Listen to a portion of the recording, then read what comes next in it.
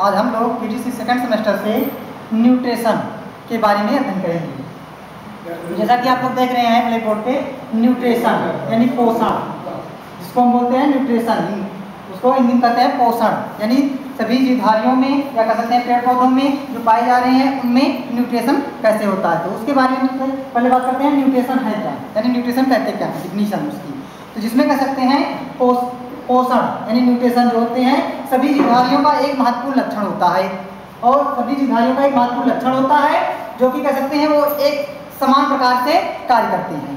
सभी जीवधारी जो होते हैं, उनका एक महत्वपूर्ण लक्षण होता है और वो विभिन्न तरीके के कार्य एक समान रूप में, समान रूप से कार्य करते हैं जिससे उनमें ऊर्जा का ह्रास होता है। यानी ऊर्जा खत्म होती है या कमी आती है उसमें ऊर्जा का, और उनको ऊर्जा जो होता है वो भोजन से प्राप्त होता है। और जो भोजन होता है भोजन को प्राप्त करने या बनाने की क्रिया या कहते करिए क्रिया विधि को पोषण कहते हैं न्यूट्रिशन कहते हैं। यानी सीधा कहा गया आपको, जो पौधे होते हैं, सभी जीवधारियों का एक महत्वपूर्ण लक्षण होते हैं और और सभी कार्य जो होते हैं, एक समान रूप से करते हैं, जिसके कारण उनमें ऊर्जा का ह्रास होता है और ऊर्जा का ह्रास होने से, ऊर्जा का ह्रास होता है और उनको ऊर्जा जो होते हैं, भोजन से प्राप्त होते हैं और भोजन बनाने या प्राप्त करने की क्रिया को न्यूट्रेशन यानी पोषण कहते हैं। ये हुआ इसका डिफिनेशन अब आगे इसकी बात करते हैं, यानी पोषण के प्रकार, यानी type of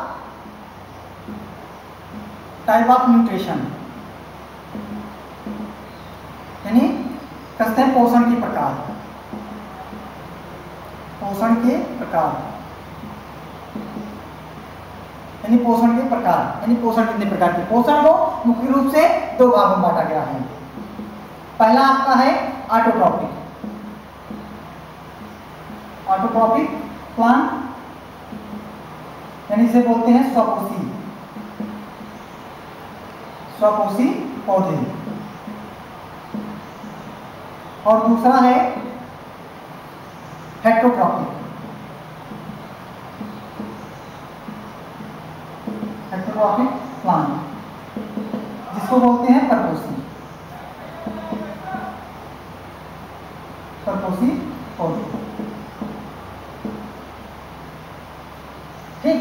ये दो तरीके के बांटे गए हैं ऑटोट्रॉपिक प्लांट और हेट्रोट्रॉपिक प्लांट दो भागों में बांटे गए हैं। पहला आता है ऑटोट्रॉपिक प्लांट यानी ऑटोट्रॉपिक प्लांट होते क्या हैं? ऑटोट्रॉपिक प्लांट वो प्लांट होते हैं जो अपना भोजन सूर्य की उपस्थिति में या कसते प्रकाश की उपस्थिति में स्वयं बनाते हैं। उनको ऑटोट्रॉपिक प्लांट बोलते हैं। यानी ये पौधे जो होते हैं, सूर्य के प्रकाश में अपना भोजन स्वयं बनाते हैं। इसके अंतर्गत आपके जितने भी आते हैं, सभी एलगा यानी आल एलगा आते हैं, जितने भी होते हैं। अब उसके बाद आते हैं हेट्रोट्रॉपिक हेट्रोट्रॉपिक न्यूट्रिशन यानी कह सकते हैं पोषण, जो पौधे पाए जाते हैं तो परपोषी यानी जो दूसरों पे आश्रित होते हैं। यानी दूसरों के द्वारा अपना भोजन बनाते हैं। तो इनको हम कई भागों में बांट सकते हैं कह सकते हैं बांटा गया है। पहला है पैरासाइटिक पैरासाइटिक यानी परजीवी के रूप में।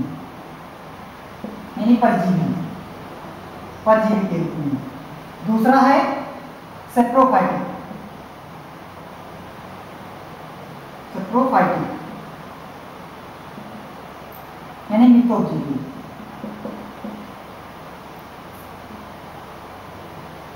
और उसके बाद अगला है संबायोसिस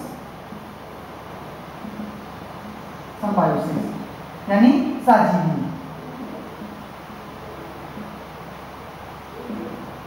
ठीक? और इसके बाद एक लास्ट में बचता है इंसेक्टिवर्स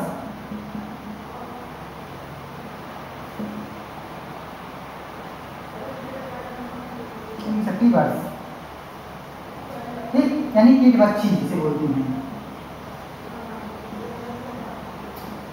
कीट बच्ची ठीक? अब इसके आते हैं बात करते हैं परपोषी के बारे में यानी जो दूसरों के द्वारा आश्रित होते हैं या दूसरों पे भोजन बनाते हैं। तो पहला है पैरासाइटिक यानी परजीवी के रूप में। यानी परजीवी जो होते हैं, पौधे पाए जाते हैं। जैसे कोई आप प्लांट देखते होंगे कि कोई पौधा है।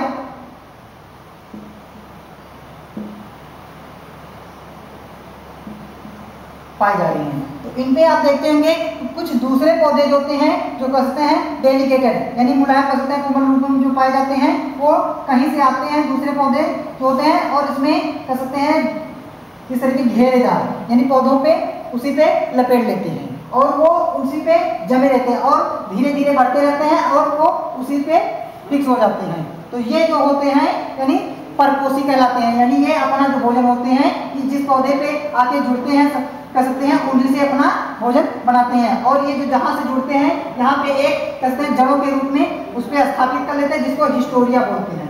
हिस्टोर हिस्टोरिज यानी चूषण यंग यानी इनमें जो पोषण पाया जा रहा है, उनको उसी के द्वारा, जड़ों के द्वारा वो अपने आप एब्जॉर्ब कर लेते हैं।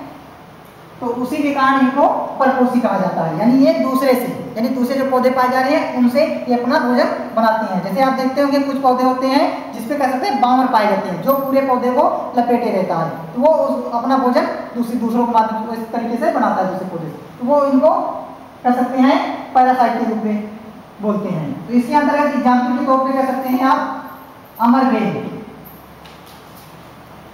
अमर बेल अमर बेल इसमें दूसरा आता है सेप्रोफाइटिक यानी मृतोपजीवी, यानी जो पौधे कह सकते हैं समाप्त हो जाते हैं, उनसे जो पौधे कह सकते हैं उन जो पाए जाते हैं कह सकते हैं उनसे बनते हैं, उन्हीं के ऊपर उनसे अपना भोजन प्राप्त करते रहते हैं। जैसे आप लोग देखते होंगे एग्रीकस का नाम सुना होगा, ईस्ट का नाम सुना होगा मकर का राजोपस सुना होगा नाम, जो कि कह सकते हैं जो सड़े गले, यानी पौधे जो होते हैं, सड़ गल जाते हैं और उनके ऊपर, यानी दूसरे पौधे निकलते हैं और अपना न्यूट्रिशन उन्हीं से प्राप्त करते हैं, यानी अपना भोजन उन्हीं को बनाते रहते हैं। तो उनको हम मृतोजीवी के अंतर्गत रखे जाते हैं। तो इनमें आपका एग्ज़ाम्पल के तौर पर कह सकते हैं एग्रीकस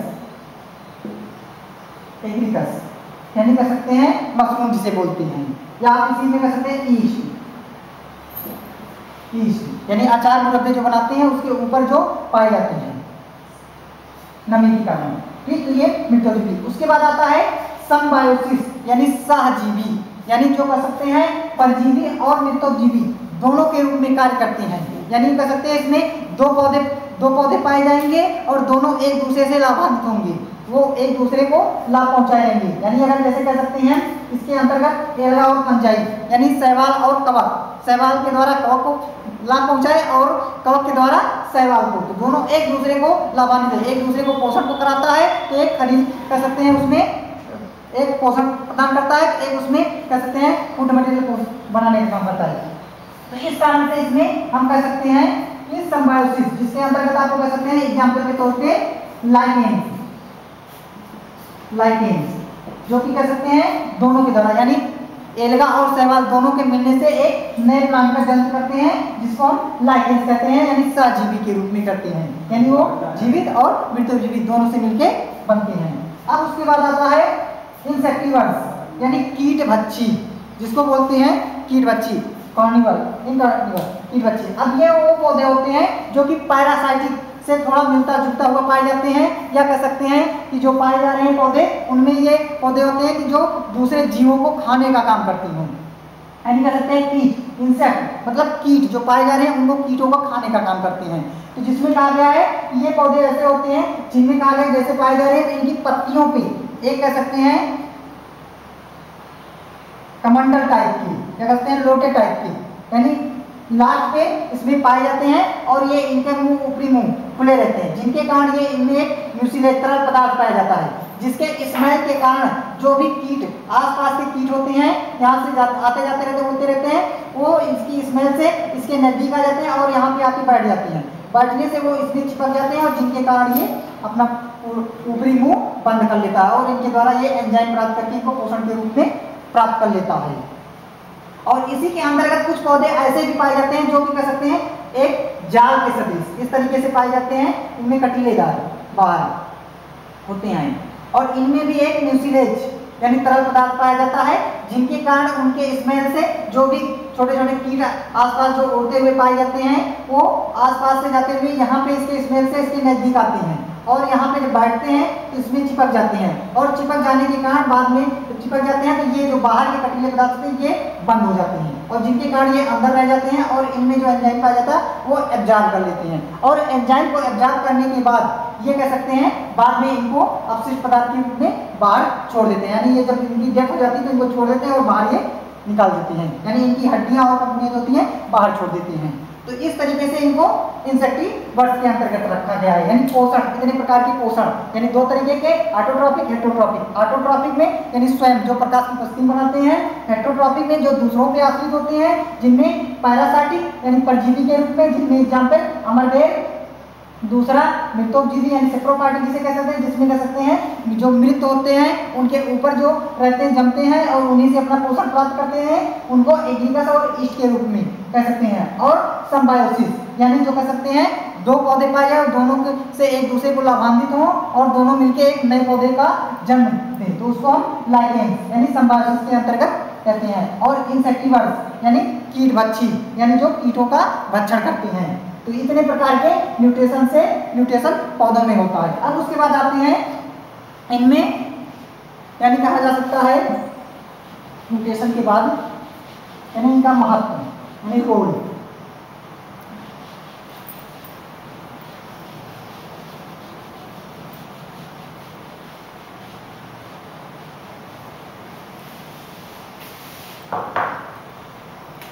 economic importance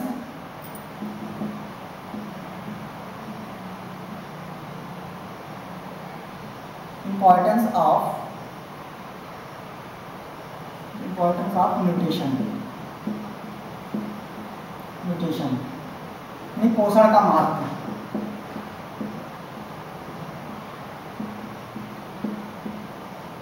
पोषण का महत्व पोषण के महत्व को हम तीन भागों में कह सकते हैं या तीन भागों के माध्यम से।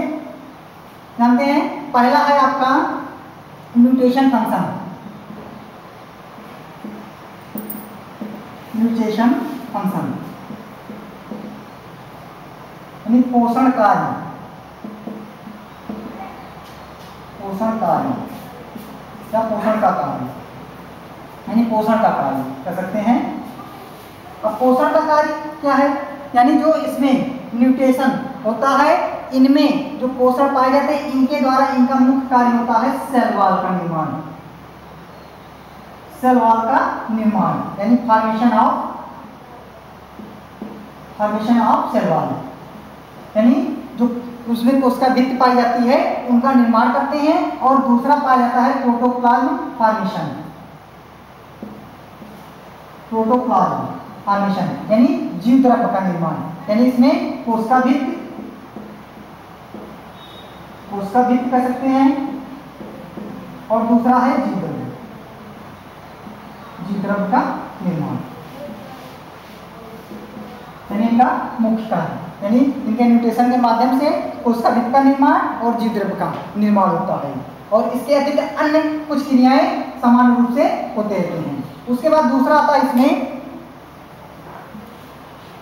आगे आता है इसमें दूसरा। कैटालिटिक कैटालिटिक फ़ंक्शन यानी उत्प्रेरक उत्प्रेरक कार्य। उत्प्रेरक कार्य कह सकते हैं। उत्प्रेरक कार्य। अब इनमें न्यूट्रिशन में उत्प्रेरक कार्य। यानी जो भी पौधे पाए जा रहे हैं, उनमें जो उपापचयी क्रियाएँ होती हैं, या कह सकते हैं, उनमें जो मेटाबॉलिज्म कार्य होते रहते हैं, उनको उत्प्रेरित करते हैं, यानी उनको कैटलिस्ट करके और उनको कार्य करने के लिए उत्प्रेरित करते हैं। तो उन्हीं को उत्प्रेरित कार्य के रूप के अंतर्गत रखा गया है। और उसके बाद लास्ट में आता है आपका तीसरा। बैलेंसिंग बैलेंसिंग फ़ंक्शन यानी इनमें जो भी पोषक तत्व पाए जा रहे हैं, कह सकते हैं उनको बैलेंस यानी उनको जितनी उनकी आवश्यकता होती है, उनको, कह सकते हैं उनको ऑब्जॉर्व करते हैं, और जितना आवश्यकता नहीं होती है तो उनको बाहर अपशिष्ट के रूप में निकाल देते हैं, यानी उनको बैलेंस संतुलन, जिसे कह सकते हैं संतुलन।